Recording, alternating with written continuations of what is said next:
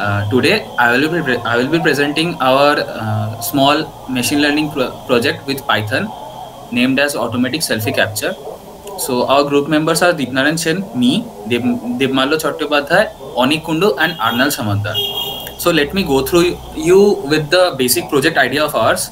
So the main idea of our project is to take a selfie whenever we smile. So what's the motivation behind it?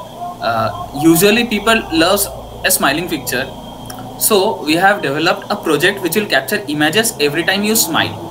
And uh, it also detects whether you are smiling or you're not smiling.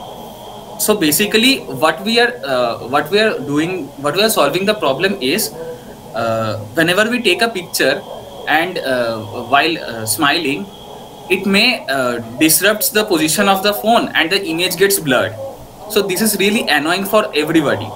Everyone has faced this problem. So our project solves this problem by taking the picture simply when you smile. So uh, uh, there are some few steps. I will not be detect, uh, elaborating it very much but simply we have uh, mm, divided it in four stages. That accessing the device camera then we have used a module which detects the smile and the face of a person and then their capturing process begins. That's it. So let me just go through you with the code and the output of our project.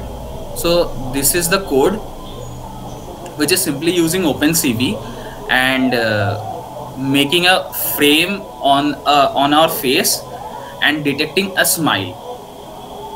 So if I run it, you can see the camera will get accessed and in no time it will open. Yeah, the camera is working right now. As you can see, our face is getting detected and there is a yellow square around my face which is also detecting whether I'm smiling or not.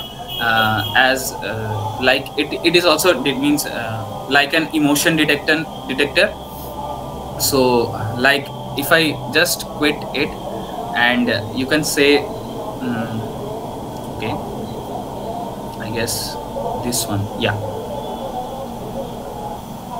so that's it about our project it wasn't a long project but yeah that I uh, rest my project. That's all.